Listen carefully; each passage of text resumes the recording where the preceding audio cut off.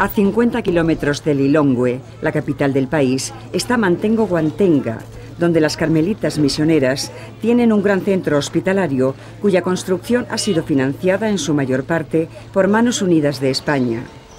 Eligieron este lugar al que llamaron Mantengo Guantenga, el malaviano árbol de plumas, porque había unos árboles a los que acudían los pájaros para pasar la noche, dejándose durante el sueño algunas plumas entre las ramas. Por la mañana, las hojas de los árboles se habían transformado en plumas que el viento hacía volar. El hospital está dando servicio a 50.000 enfermos al año.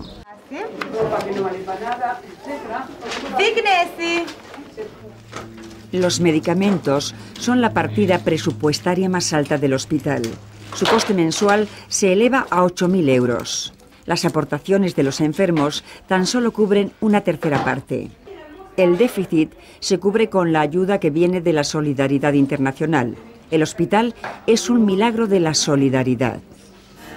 Este laboratorio se nos ha quedado pequeño debido a los problemas de SIDA, de malaria, que afectan a, Malawi como a la cantidad del mundo por la pandemia del SIDA. Hemos tratado de conseguir ayudas para construir un nuevo laboratorio. El edificio lo tenemos, pero tristemente la maquinaria no.